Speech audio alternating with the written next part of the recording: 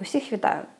Останнім часом у мене в коментарях, а також в особистих повідомленнях питають, е, чи варто їхати в Данію е, після іншої країни, і запитують у мене пораду. А чи є смисл, чи є сенс? Люди мені пишуть. Ну, воно описують коротко якусь свою ситуацію. І хочуть, щоб я їм е, дала якусь відповідь, видала їм якесь рішення. Але ви ж розумієте, що так не буває бо я чужа людина, я не знаю вашої ситуації, вашої, вашої родини і що саме ви вкладаєте у слово сенс. Який для вас сенс? У кожного сенс свій. Але перш ніж я почну розповідати, я хочу е, нагадати всім, що в мене, якщо вас цікавить тимчасовий захист і все на цю тему, житло, виплати, робота, умови і так далі, у мене є окремий плейліст, який так і називається Усе про тимчасовий захист.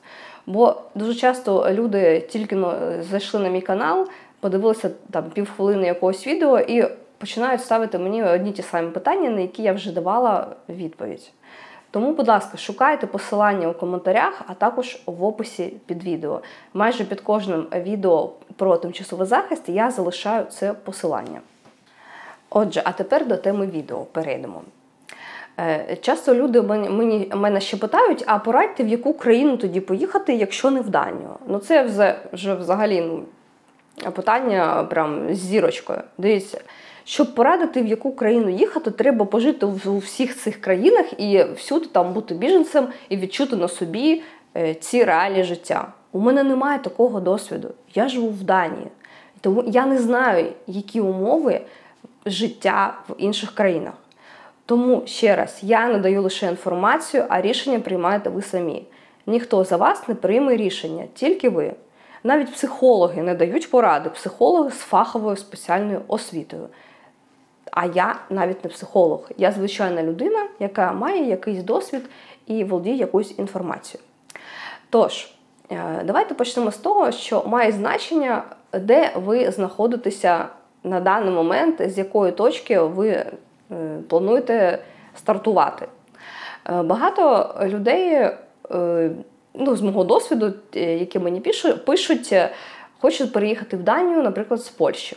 Я особисто в Польщі не була, але ті люди, які там були біженцями жили, вони кажуть, що там важко, і в Данії, коли вони вже переїхали, що в Данії їм набагато легше.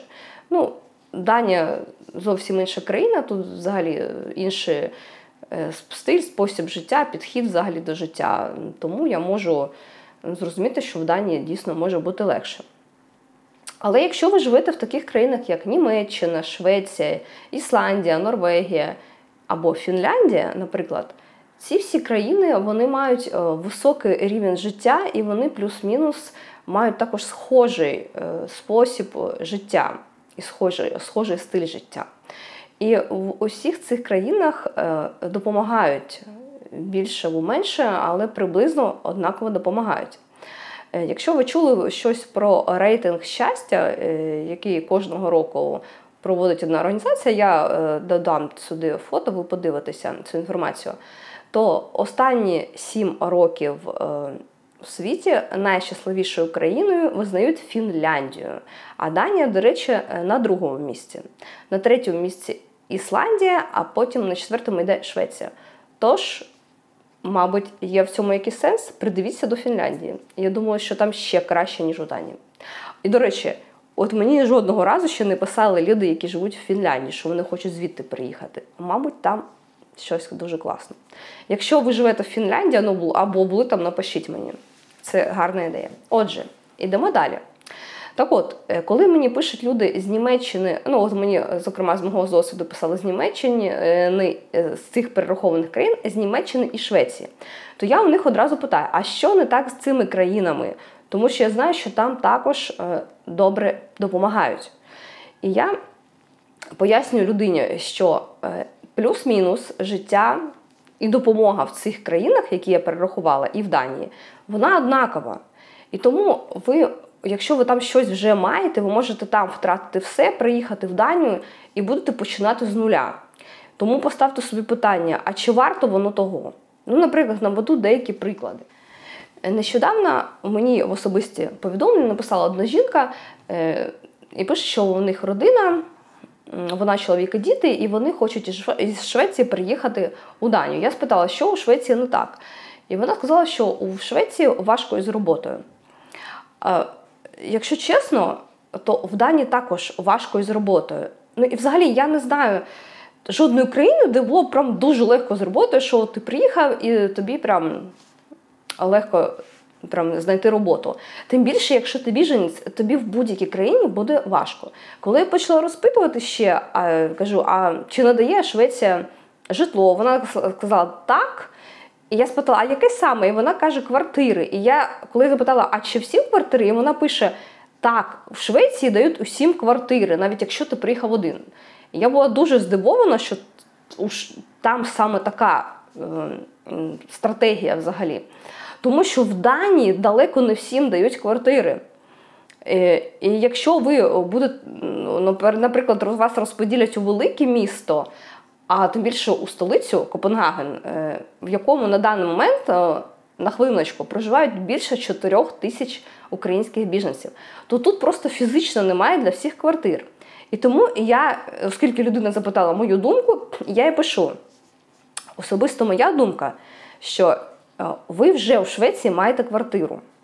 Чи варто втрачати квартиру і їхати в Данію, починати все з нуля, проходити? Я просто написала, що її буде очікувати. Проходити два табори для біженців, в яких умови гуртожитку. А потім, коли вас розподілять невідомо в яку комуну, яку ви не обираєте, а вирішується міграційна служба. І Імовірність, що у вас розподілять цю квартиру, вам дадуть цю квартиру, вона дуже мала. Тобто дуже великий відсоток, що це буде гуртожиток. Тому, перш ніж переїздити у Данію з таких країн, як Німеччина, Швеція, ну які я перерахувала, і якщо ви там тим більше вам дали квартиру, то я би трималася за цю квартиру і нікуди вже не їхала. А з роботою важко всюди. Треба знайти хоч якусь роботу і просто працювати і отримати хоч якісь кошти. Тому що я вважаю, якщо у вас вже є житло, яке вас влаштовує, то це вже пів проблеми вирішено. Е, звісно, що для кожної людини є щось неприйнятне, а не для кожного це своє. Ну, Наприклад, колись мені написала жінка і спитала мене, чи знову таки про житло, куди розподілять. Я пишу, що е, 50 на 50, що це буде гуртожиток. А вона тоді спитала: а на етапі на етапі таборів, які там умови? Я кажу, що на етапі таборів там точно будуть умови гуртожитку. А жінка була одна, вона збиралася їхати. Там точно у вас в кімнаті будуть декілька людей, 3-4 або навіть 5. Люди покажуть, що і більше, і до 8 людей селять. І для цієї саме жінки це було неприйнятно, і вона, е, коли дізналася цю інформацію, сказала: Ні, тоді я точно не поїду, бо я не можу жити в гуртожитку, я оберу іншу країну. Тобто, якщо для вас це вже критична ситуація, то, звісно, можливо, вам в Данію і не треба.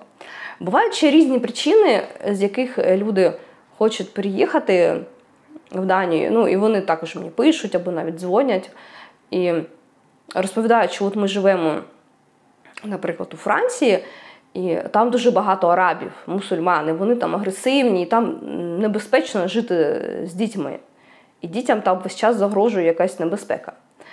І тому ми хочемо, жінка каже, переїхати у Данію. А я кажу: ви знаєте, що в Данії теж багато арабів і мусульман. Жінка була дуже здивована, бо вона не знала таку інформацію. До речі, доки я не переїхала в Данію, я теж не знала, що в Данії дуже багато арабів. Якщо ця ситуація є для вас критичною і неприйнятною, то теж дані, можливо, вам не підійде. Тобто тут треба зважити, е, що для вас прийнятне, а що ні. Сподіваюся, що ця інформація була для вас корисною.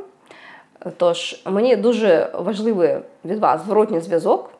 Тож, е, пишіть, якщо в мене є глядачі, які живуть на даний момент в інших країнах, Поділіться своїм досвідом е, життя в цих країнах, як допомагає вам ця країна, е, як біженцям.